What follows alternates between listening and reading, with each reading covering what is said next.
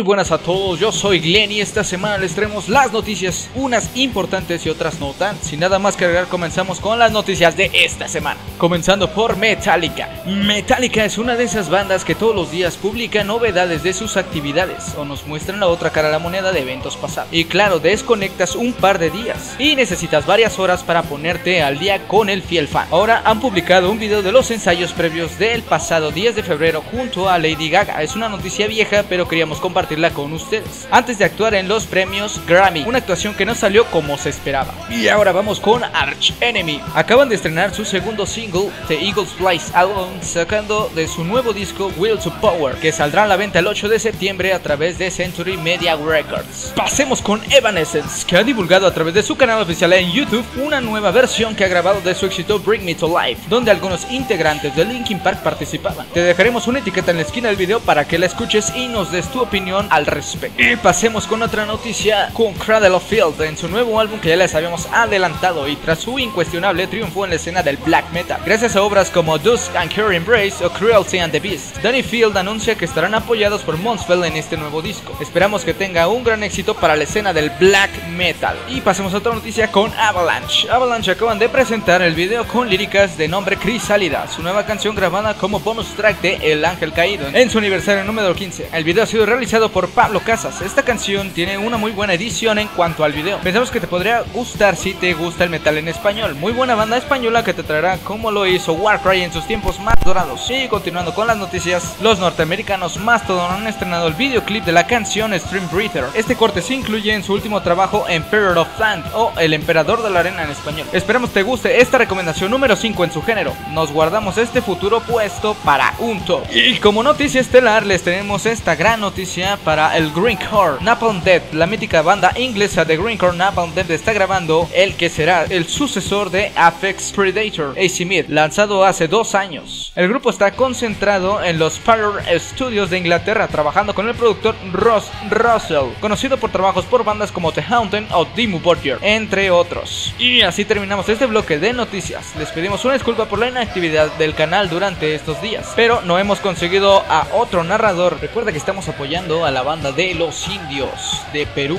Arequipa, para que escuches algo de metal en español latinoamericano. Dejamos un enlace a Spotify en la descripción del video. Recuerda suscribirte y activar las notificaciones haciendo clic en la campana después de haberte suscrito. Yo soy Glenn y hasta la próxima.